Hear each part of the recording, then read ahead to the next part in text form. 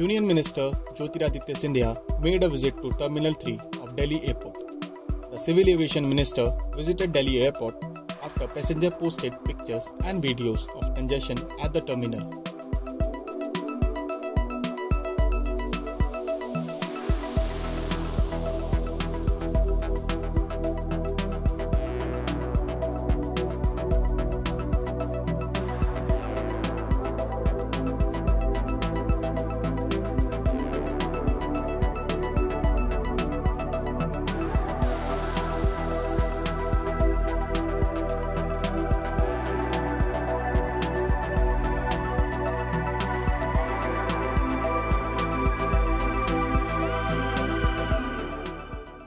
Visuals from the airport show passengers lined up in a queue for security check for 2 to 3 hours.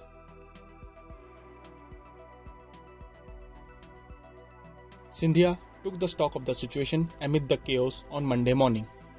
He issued key orders to increase the numbers of gate from 14 to 16 and the numbers of line from 13 to 16 to avoid the rush.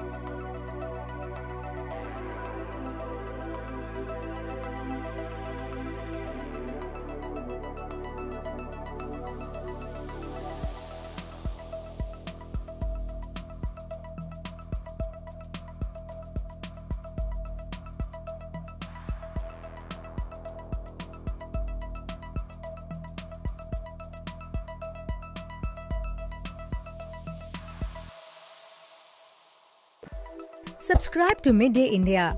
Get direct notifications on all our videos by clicking on the bell icon.